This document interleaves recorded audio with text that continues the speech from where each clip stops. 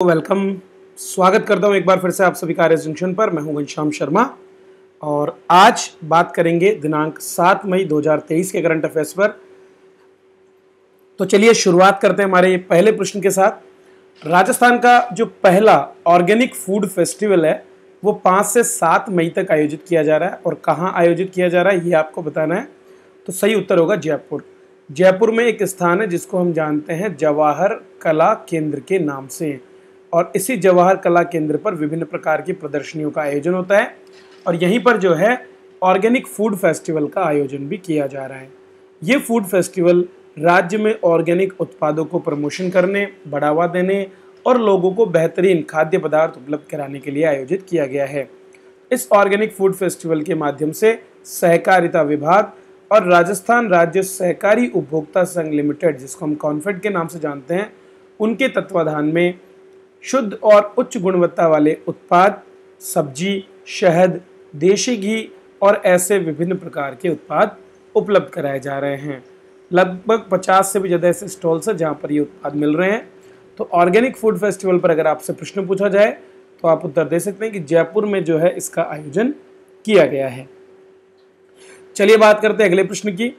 निम्नलिखित में से किस ज़िले में मिशन लक्ष्य साधना इसके तहत आईआईटी और नीट जैसी बड़ी परीक्षाओं की फ्री कोचिंग दी जा रही है। तो दोस्तों, जयपुर के नज़दीक का जो टोंक जिला है, उसी टोंक ज़िले में वहाँ की कलेक्टर जो हैं उनके माध्यम से, चिन्मयी गोपाल जो हैं, उनके माध्यम से एक स्पेशल इनिशिएटिव शुरू किया गया है ताकि जो ग्रामीण क्षेत्रों में सरकारी स्कूलों के जो छात्र हैं 11 सरकारी ऐसे स्कूल्स हैं जहाँ के छात्रों को आईआईटी और नीट की फ्री कोचिंग दी जा रही है। पाँच इनमें स्वामी विवेकानंद राजकीय मॉडल स्कूल है और पाँच राजकीय सीनियर सेकेंडरी स्कूल, जबकि एक महात्मा गांधी राजकीय अंग्रेज़ी स्कूल है टोंक के गुलजार बाग में। इन सभी स्कूलों के जो छात्र छात्राएँ हैं, उनको इस मिशन लक्ष्य साधना के अंतर्गत ये ट्रेनिंग जो है, कोचिंग दी जा रही है। और इनमें से नौ विद्यार्थियों ने हाल ही में आईआईटी एडवांस के लिए भी क्वालिफाई किया है। चलिए अगला प्रश्न देखते हैं। पाँच और छह मई को दो दिवसीय हल्दी घाटी युवा महोत्सव का आयोजन कहाँ पर किया जा रहा है? तो दोस्तों, हल्दी घाटी युवा महोत्सव के नाम से एक विशेष महोत्सव जो है, उसका आयोजन हाल ही में राजसमंद में शुरू किया गया। पाँच और छः मई को ये आयोजन हुआ और इसके माध्यम से पंद्रह से लेकर उनतीस वर्ष के जो युवा इस क्षेत्र विशेष के हैं, उनको अपना हुनर दिखाने का मौका दिया गया है। इस प्रतियोगिता में राजस्थान युवा बोर्ड की तरफ़ से भाग लेने वालों को प्रमाण पत्र और प्रथम तीन स्थानों पर रहने वालों को पुरस्कार भी दिए गए। तो कहाँ पर आयोजित किया गया? राजसमंद ज़िले में, हल्दी घाटी युवा महोत्सव। आगे बढ़ने से पहले आप सभी हमारे करंट अफेयर्स का पीडीएफ प्राप्त कर सकते हैं हमारे ऐप पर, जिसका नाम है आर एस जंक्शन। तो आज ही एप्लीकेशन पर जाएँ और वहाँ से हमारे कोर्स को ज्वाइन करके आप इनके मंथली पीडीएफ और टेस्ट सीरीज़ जो है उसका लाभ ले सकते हैं। चलिए अगला प्रश्न देखते हैं।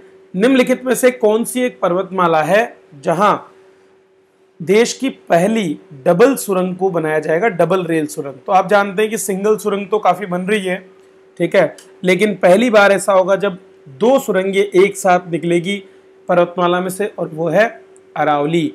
अरावली पर्वतमाला के हरियाणा स्थित जो क्षेत्र है, वहाँ पर लगभग चार दशमलव सात किलोमीटर लंबी और 25 मीटर ऊँची सुरंग का निर्माण होगा।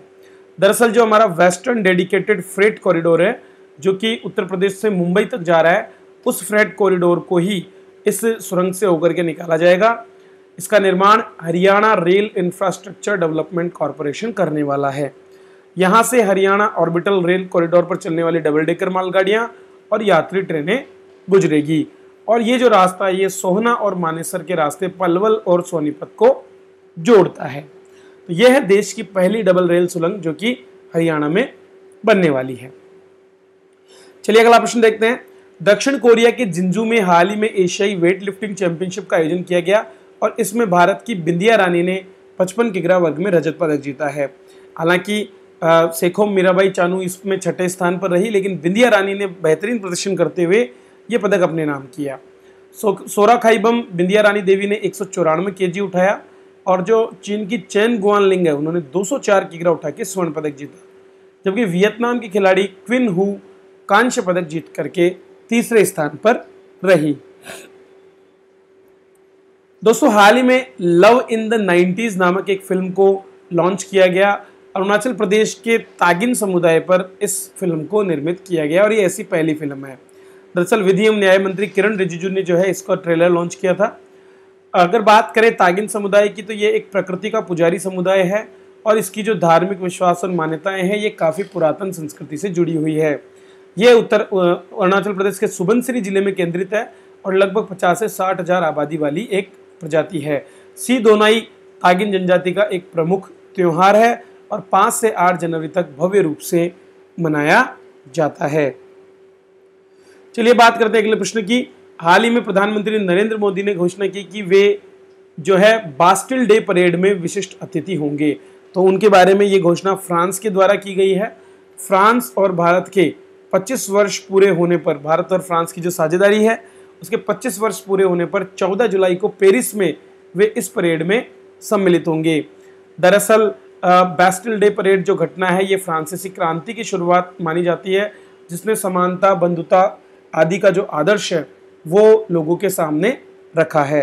तो 14 जुलाई 1719 को हुआ क्या था? बास्तील में स्थित जो सैन्य किला और जेल है, उस पर आक्रमण कर दिया था लोगों ने और उसको जो है आज़ाद करवा दिया था चंगुल से। वहाँ की जो मोनार्क शासन था उससे। और उसके बाद ही फ्रांस में जो है फिर लोकतंत्र की ओर कदम बढ़ाए गए थे। तो 14 जुलाई सत्रह सौ नवासी की इस याद में ही जो है हर साल 14 जुलाई को बास्टिल डे परेड जो है वो आयोजित की जाती है।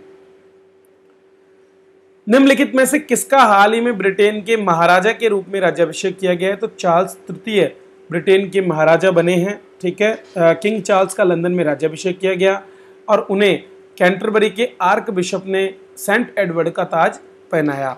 उनकी पत्नी कैमिला अब रानी बन गई है। चार्ल्स तीन की बात करें तो सितंबर 2022 में उनकी माँ क्वीन एलिजाबेथ की मृत्यु के बाद वे ब्रिटेन के महाराजा बने थे। तो दोस्तों, ये थे सात मई 2023 के करंट अफेयर, जिन पर हमने चर्चा की। उम्मीद करता हूँ ये आपको पसंद आए होंगे तो इन्हें लाइक करें शेयर करें अपने दोस्तों के साथ और बने रहें इसी तरह। वीडियो देखने के लिए आप सभी का बहुत बहुत धन्यवाद।